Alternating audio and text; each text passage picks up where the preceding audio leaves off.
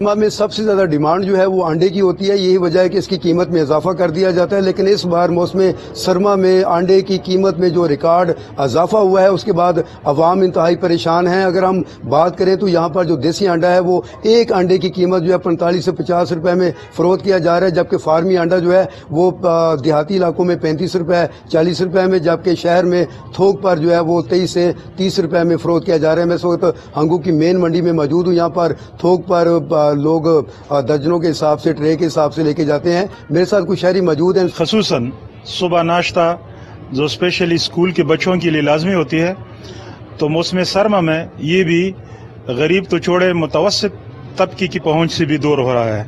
ایک ٹرے تیس دانوں پہ مشتمل ہوتی ہے۔ حکومت کو چاہیے کہ اس پہ اسپیشل توجہ دیں۔ ہاں جی بالکل، آپ نے شہریوں کی گفتگو سن لی، ان کا یہ کہنا ہے کہ جو قیمتوں میں اضافہ ہوا ہے، اس کی بنیادی وجہ طلب اور رسد میں گیپ ہے۔